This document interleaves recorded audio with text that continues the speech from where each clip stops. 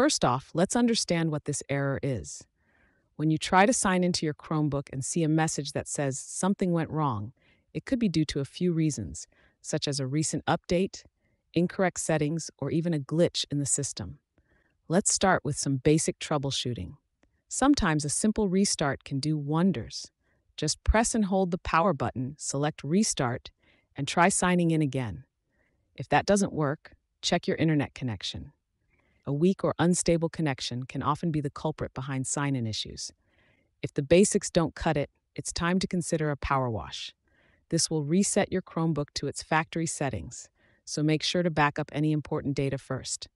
To power wash your Chromebook, press and hold Ctrl Alt Shift R, select Restart, and then, when prompted, choose Power Wash and then Continue.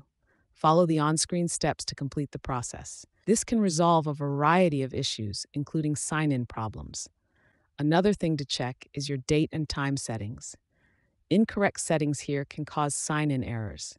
Make sure they're set correctly, either manually or by choosing to set them automatically. If you've tried all these steps and are still seeing the something went wrong message, it could be a more complex issue. In that case, it might be time to reach out to the Chromebook community for further assistance or contact Google's support team. And there you have it, folks. With these tips, you should be able to bypass the something went wrong with signing in error and get back to using your Chromebook seamlessly. Remember, technology has its hiccups, but there's almost always a solution. If you found this video helpful, give us a thumbs up, and don't forget to share it with anyone who might be facing the same issue. Until next time, stay tech savvy and trouble free. Check out our other troubleshooting guides right here.